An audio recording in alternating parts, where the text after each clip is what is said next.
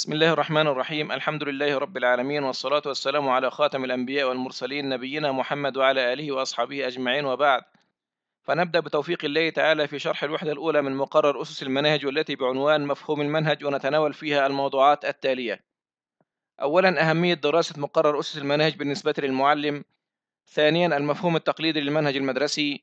كما نبين في هذه الوحدة النقد الموجه للمفهوم التقليدي للمنهج ونعرج أيضا على المفهوم الحديث للمنهج المدرسي وأخيرا بعض المفاهيم المرتبطة بمفهوم المنهج المدرسي.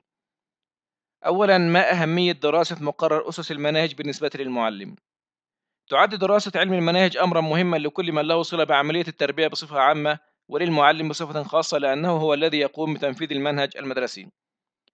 والمعلم الجيد هو الذي يسأل نفسه دائما من أعلم؟ ماذا أعلم؟ لماذا أعلم؟ كيف أعلم؟ وكيف أقيم ما علمته؟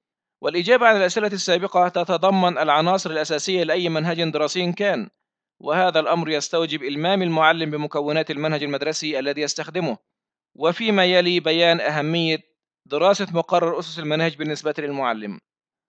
تمكنه من معرفة أهداف المادة الدراسية التي يقوم بتدريسها مما يجعله يؤدي دورات تدريسي بكفاءة ونجاح. تكسبه القدرة على صياغة الأهداف صياغة إجرائية واضحة يمكن ملاحظتها وقياسها. أيضا من أهمية دراسة مقرر أسس المنهج بالنسبة للمعلم تساعده على معرفة المعايير التي يتم في ضوئها اختيار المحتوى التعليمي وتنظيمه. تساعده على اختيار طريقة التدريس والأنشطة والوسائل التعليمية. تمكنه أيضا من معرفة أساليب التقويم المختلفة. وهكذا نلاحظ أهمية دراسة المناهج بالنسبة للمعلم. الأمر الذي جعل التربويين يهتمون بهذا الميدان وتضمينه في برنامج إعداد المعلمين حتى يدرك الطالب تفاصيل هذه المناهج الدراسية قبل تخرجه وممارسته مهنة التعليم.